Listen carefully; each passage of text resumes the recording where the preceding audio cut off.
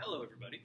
My name is Darren Magee. Welcome to chemistry here at K-Tech for the 2020 school year. Uh, first, a little bit about myself. I've been teaching for 10 years. I'm certified in chemistry, biology, and physics. I've taught it all. Um, and I love working here at K-Tech. I could really feel the difference we're making for our students and the community at whole with all the different programs we have. Um, a little bit about the class. All of my classes, whether it's AP, regular, or honors, going to be paperless and fully online in order to reduce viral transmission. Um, for my AP class, we're going to be following a, uh, a class I created in my learning.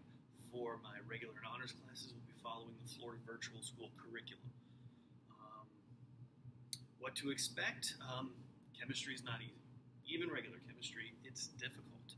Uh, there's a lot of math, there's a lot of critical thinking, but hopefully we're going to start off easy and work our way towards those more complicated ideas. And in the end, I am here for you. If you need me, uh, whether you're in class or you're online, you can contact me here. We've got my cell phone number, please text only, and then we've got my email here. If you have any questions between now and the beginning of the year, by all means let me know. I will answer as best as I can. And then once class starts, you can text me, you can email me questions you might have. And uh, yeah, that's about it. Have a great day. Um, I can't wait to get started, and I will see you guys next week.